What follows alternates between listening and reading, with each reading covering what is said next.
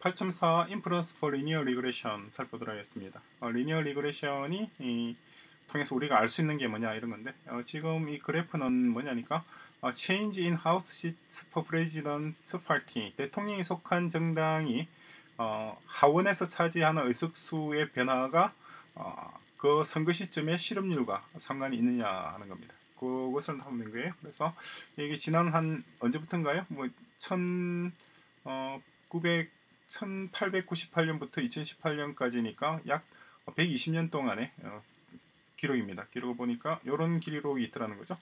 그러니까 지금 보면 어떤 리파브리카는 삼각형 그리고 디마크레이스는 음, 동그라미로 표시를 하고 있습니다. 어떨 때는 대통령이 공화당 소속일 때도 있고 어떨 때는 민주당 소속일 때도 있죠. 그죠? 그럴 때 어쨌거나 하원 선거는 2년에 한 번씩 있습니다. 2년에 한 번씩 있는데 의석수가 어, 얼마나 변했는 거 그거 저기 그러니까 지금 이 표시되어 있는 거는 이 민주당 출신의 대통령일 때 하원 선거가 있었던 경우는 이렇게 파란색으로 표시를 했고 그리고 어, 공화당 출신의 대통령이 이, 이 있을 때 하원 선거를 실시했을 때 그때의 의석수 변화는 이렇게 삼각형으로 표시한 겁니다. 그죠? 어떤 의미인지 아시겠죠? 그랬더니 이렇게 하향의 추세선이 있더란 말이죠. 이러면, 그러면은 이런 하향의 추세선이 어떤 의미를 가지고 있느냐? 이 정도 경사도, slope가 이 정도이죠. 그리고 variance가 이 정도란 말입니다. variance가 이 정도 있다고 하면은 이게 어떤 의미가 있는지를 좀 보자는 거죠. 그래서 어, 그 내용들을 같이 한번 쭉 살펴보도록 하겠습니다. 먼저 이전에 있던 데이터를 좀 지워버리죠. 지워버리고 자, 두 가지를 봐야 됩니다. 첫 번째 봐야 될 것은 무엇이냐니까 이전에 ANOVA 공부했던 게 기억나시죠? ANOVA를 우리가 할때 어, 어떤 점을 살폈었나요? ANOVA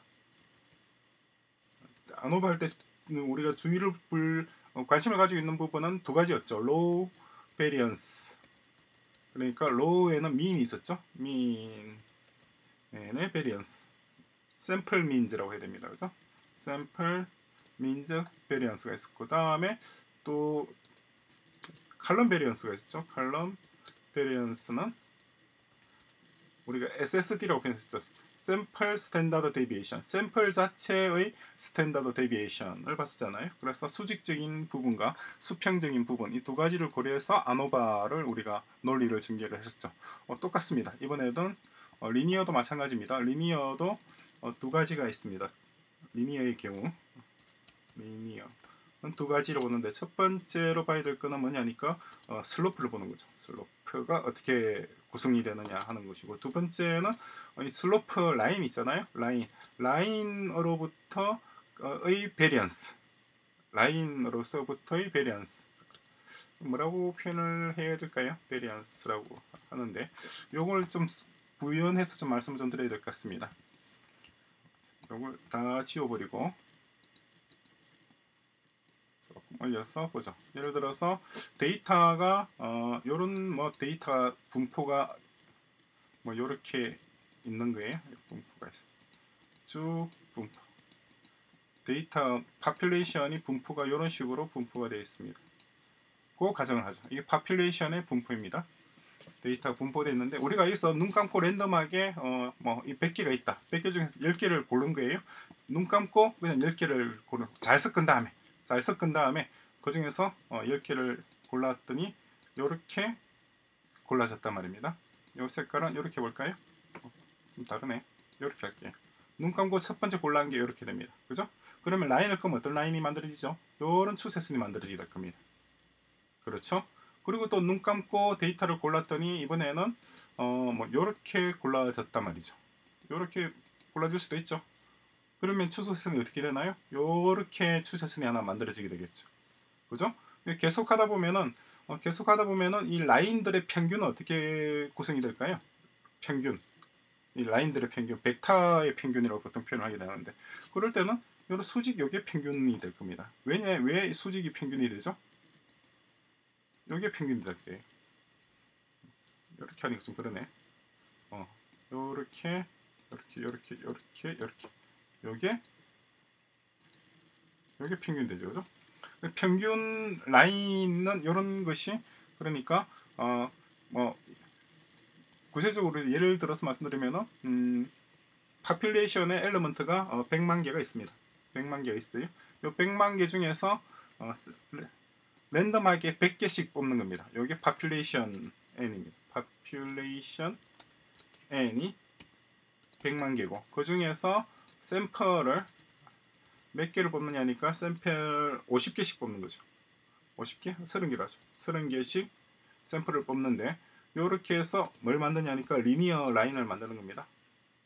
linear 어 라인 linear 스펠링 기억이 안 나네. 자 linear 라인들을 만듭니다. 이걸 반복을 몇 번 하느냐니까 100번을 반복하는 거라죠. 100회 100회에서 100개의 linear 라인이 만들어지는 거예요.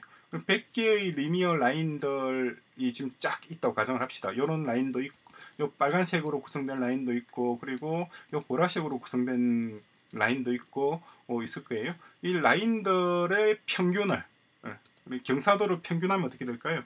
mean of line들, mean of lines.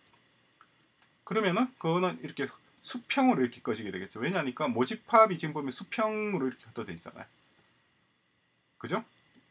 모집합의 형태에 따라서 결국은 결정이 나게 될 겁니다. 지금 모집합이 x축, y축, 지금 왼쪽에 있는 것이 y축이라고 가정을 하고 그리고 밑에 있는 것을 x축이라고 합시다. x축입니다. 그럼 x값과 y값에 따라서 현재 모집합이 이렇게 아무런 상관관계 없이 흩어져 있는데 있는 상황에서 우리가 어, 표본 30개를 무작정 골라서 이렇게 라인을 끄다 보면은 이렇게 빨간색 라인도 꾸어질 수가 있고 뭐도 라인도 꾸어질 수가 있겠죠. 하지만 평균 그래서 정규 분포가 하나 만들어지겠죠. 라인들의 정규 분포 normal distribution이 만들어지죠. 그 normal distribution의 중앙에는 뭐가 있나요? 수평이 있겠죠. 왜냐니까 모집합이 이렇게 어, 아무런 관계가 없는 데이터로 구성되어 있는 그렇죠. 그죠? 근데 이런 형태의 라인이 그어질 가능성도 있죠. 근데 그 가능성은 음, 결국 standard deviation으로 측정할 수가 있죠. 그죠? 요걸 중심을 제로라고 했을 때 이런 형태의 직선 수평 형태의 라인을 제로로 봤을 때 각각의 라인들이 등장할 수 있는 가능성이 다 어, 일종의 standard deviation으로서 표시가 될 수 있겠죠. 그럼 한눈에 보더라도 이 보라색으로 보이는 요 라인, 보라색 샘플들에 의해서 만들어지는 라인과 좀 빨간색 샘플로 구성되어진 이 라인 이것도 빨간색으로 넣어줄까요? 그죠?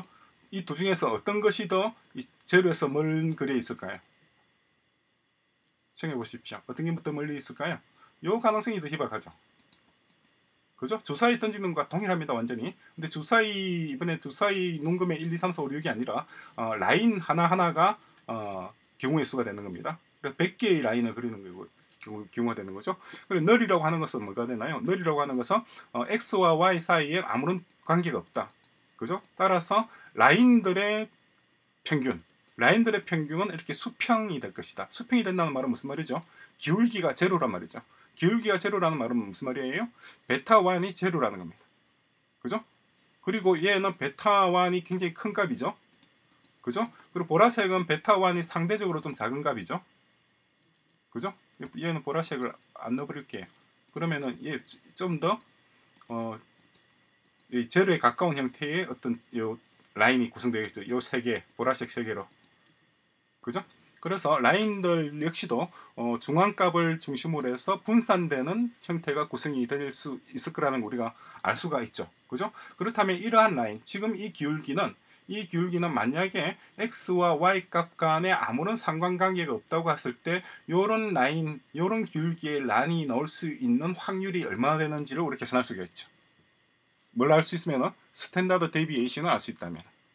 샘플들의 standard deviation을 통해서 어, 그러니까 이 모집합의 standard deviation을 추론할 수 있다면 그걸 이용해서 요 이러한 기울기 경사도 지금 경사도가 마이너스죠. 마이너스든 플러스든 간에 이 정도의 경사도가 나올 수 있는 가능성을 우리가 타진을 할 수가 있습니다. 그래서 계산한 것이 이 결과입니다. 봤더니 어, estimate에서 이 베타1이 이 값이고 베타 1은 이 값이란 말이죠. 이게 slope이고 이게 intercept입니다. 그죠? 그렇다면 우리가 좀 전에 말씀드렸던 제가 좀 전에 말씀드렸던 그 논리를 이용해서 약간의 복잡한 수학 공식을 도출하고 그 공식을 통해서 얘의 standard error는 이렇게 나오고 얘의 standard error는 이렇게 나온단 말입니다.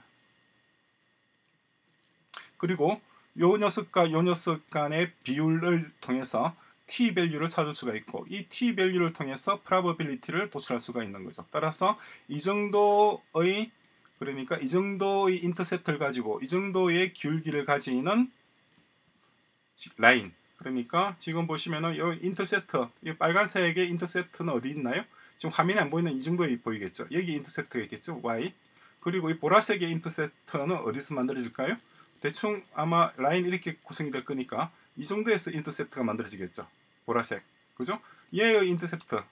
초록색 intercept는 여기죠. 그죠?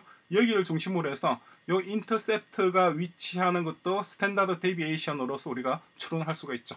지금 제가 말씀드리는 기본적인 개념들 논리가 이해가 되셔야 됩니다. 우리가 지금까지 공부했던 ANOVA라든가 어, 이전에 공부했던 모든 개념들이 그대로 적용되는 거예요. 어, linear regression이라서 별도의 개념이 아닙니다. 우리가 지금까지 공부했던 것들 연속 어, 확률과 통계의 연장이에요.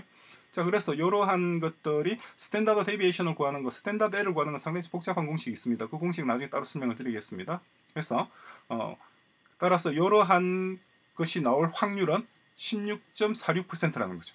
그리고 이러한 intercept가 나올 확률 외에 이러한 경사도가 나올 확률은 29.61%란 말입니다. 그래서 그 말은 무슨 말이냐니까 여기 랜덤하게 여기 100개, 1000개 혹은 100만 개의 element가 있는데 그 중에서 눈 감고 눈 감고 30개를 골라서 그 30개의 경사도를 한번 30개의 샘플로 구성되어진 어떤 linear 라인 그 linear 라인이 있을 것이고 그 linear 라인의 경사도가 요로 요 정도 경사도가 나올 확률은 무려 29%나 된다는 거예요. 따라서 우리는 어떻게 되나요? null hypothesis 경사도가 제로다라고 하는 것을 reject 하기에는 이 값이 너무 크죠. 그죠? 이게 95% 이상을 넘어선다고 한다면 여기 95% 정도는 가져야지 아니죠. 어, 지금 probability니까 어, 이게 0.05 정도 이하가 되어야지 아하 우리가 생각하는 이 중심 라인에서 굉장히 멀리 떨어져 있다. 그러니까 요 빨간색 이렇게 예를 들었단 말이에요. 요런 형태의 샘플을 30개 뽑았더니 요 빨간색 으로 보이는 이러한 형태의 리니어 라인이 만들어지더라. 그렇다고 하면은 이러한 형태의 리니어 라인의 모집합이 x와 y 사이에 아무런 상관관계가 없는 이러한 어, 집합일 가능성은 0.0001%밖에 안 된다. 라는 걸 계산할 수가 있고 따라서 population의 x와 y 사이에는 아무런 상관관계가 없다라고 하는 null을 reject하게 되는 거죠. 이해되시나요?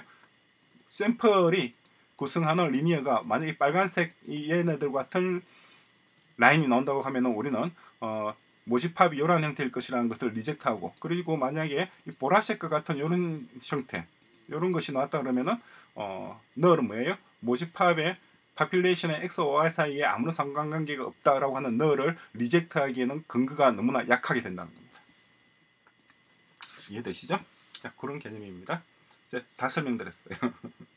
여기 있는 어, 핵심 내용 그렇습니다. 여기 방금 제가 설명드린 내용은 이 교재에 나와 있는 내용은 아니에요. 그런데 어, 제가 설명드린 내용을 참고해서 교재에 있는 내용을 읽어보시면 쉽게 이해되실 겁니다. 교재에서는 지금 제가 설명드린 내용을 설명을 안 하고 있어요.